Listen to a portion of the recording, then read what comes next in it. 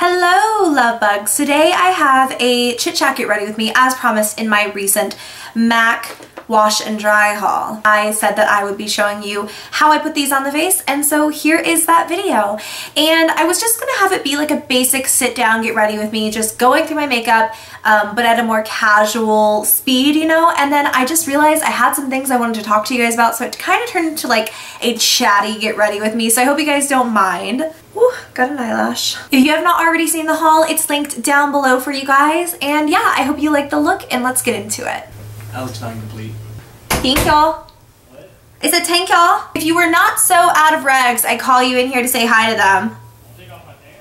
You cannot take off your pants. This is not that kind of channel. Yeah, I'm sure. I know the brows are looking a tiny bit thick and a little bit harsh, but it's just because I have no other makeup on aside from foundation in my brows. I'm actually going to get started on eyeshadow and I'm going to be using the Too Faced Chocolate Bar number dos for this just because I didn't get any of the eyeshadows from this collection. And I really don't want to do a whole heck of a lot. I'm just going to take the shade Peanut Butter Gonna use a fluffy brush for this and I'm just gonna pop that right into the crease.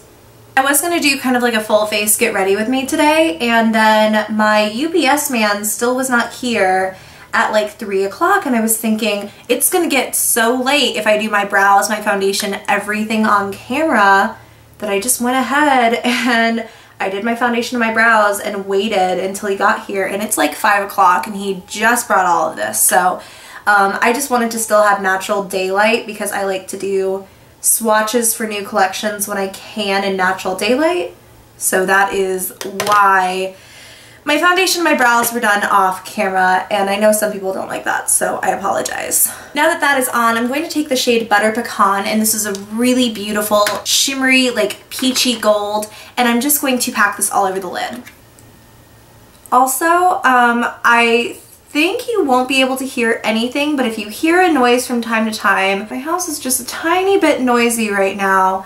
Um, Maka is not feeling well and it's nothing serious. I've taken her to the vet. The vet says everything is fine. Um, there's like a reason why she's acting weird, but she needs consoling right now. Like she's just I don't know, she gets kind of needy sometimes. We'll keep the lower lash line nice and simple and just use peanut butter. Just place that right underneath that lash line.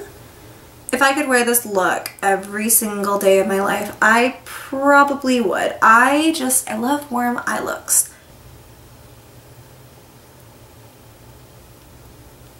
Going to just blend that out. I wasn't expecting this to become like a chatty get ready with me, but I think it's going to because I just have a lot to catch you guys up on. On the inner corner, we're just going to take a tiny bit of Butter Pecan and just put that right on in there. This is the same shade we used all over the eyelid. I'm gonna go ahead and apply some dark brown liner. This one is from Jordana.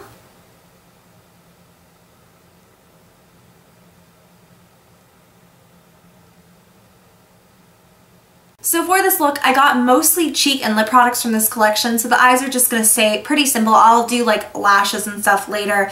Um, but I just opened up the first product. I actually have not looked at any of this yet. This is the Matte Bronze Bronzing Powder, and this is my NYC Sunny Bronzer, so you can see this one's quite dark, and I'm not really fake tanned right now. Because I just sort of feel like that bronzer might turn out a tiny bit too dark, I'm going to actually bronze my skin first with Sunny, and then use matte bronze as an actual contour. So just using a tiny bit of this on a fluffy brush, I'll go ahead and zoom you guys out. So when you're watching this, and I love filming Get Ready With Me's when you guys are going to see them pretty soon, which is the case with this one. I'm filming it on Friday and you're going to see it um, next Wednesday, I think? Should be anyways. I just got news from my dad that's really exciting. Um, there were some things going on at home. Um, you guys kind of know I went home and some stuff was going on that was kind of scary with my dad's like health and stuff and he found out today that everything is good. Um, the medicine worked and he was able to take out the PICC line he had in for like a month. So now I'm going to take matte bronze and just use that to contour and I think that this will just be a bit more natural um, than just putting this really dark bronzer all over the face. So just going to place that right under the cheekbones. Is actually not really that pigmented, um, which for a bronzer is not a bad thing. Sometimes they're so pigmented, it's like really hard to blend them out. No, this is actually a really great color. I really like this. I'm gonna also take some of that under the jaw.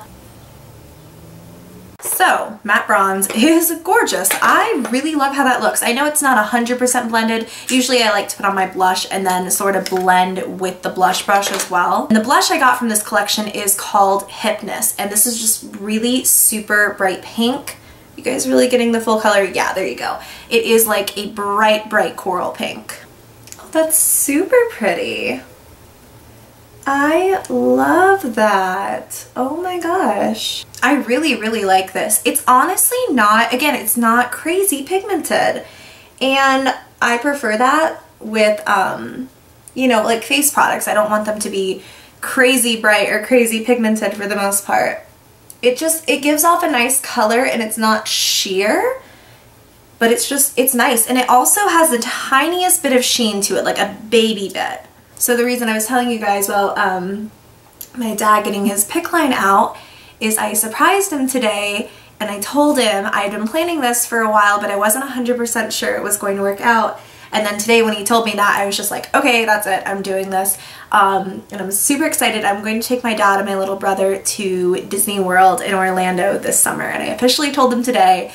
And I just I'm so excited. I Honestly, that blush though, I really like this color. People were honestly not that excited for this collection on like Twitter and stuff, and I don't understand why because I think it's so summery and so fresh.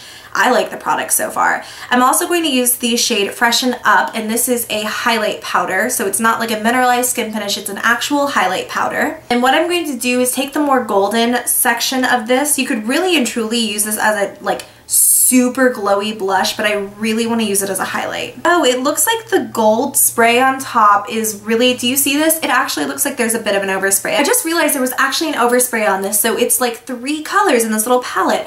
I usually really don't like oversprays. I don't, I don't, I don't know.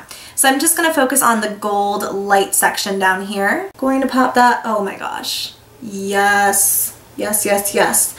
I'm going to pop that on the tops of the cheeks. Also going to take a touch down the nose, Cupid's bow and here on the forehead.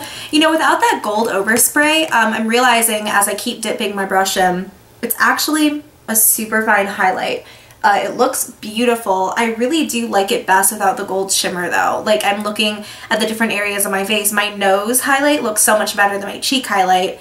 I just, I don't understand why brands put oversprays on things. I know it's like pretty and stuff, but it always annoys me. I'm gonna take a tiny bit of face powder. Contour turned out pretty good today but I'm just gonna sharpen it up a bit. Sometimes I put on the powder and I let it sit for a while, but um, this foundation I'm wearing, I tried out the Revlon Color Stay foundation today.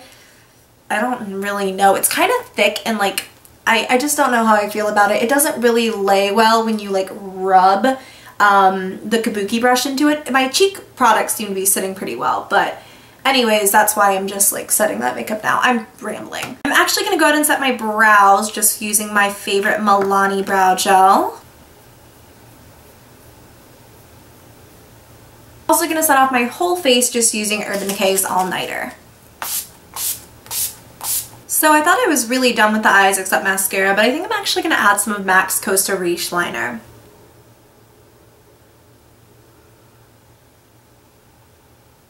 And I'm gonna curl those eyelashes.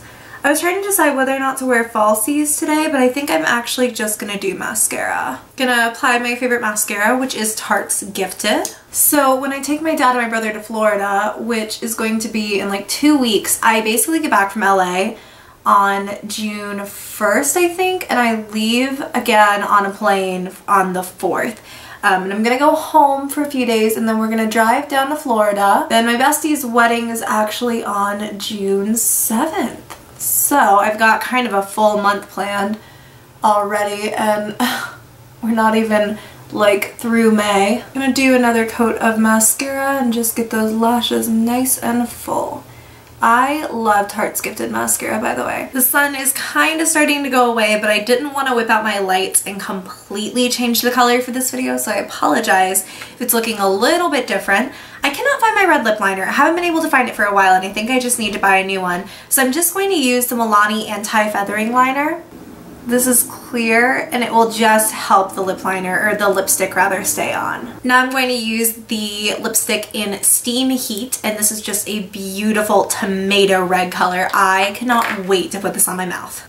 Oh yeah.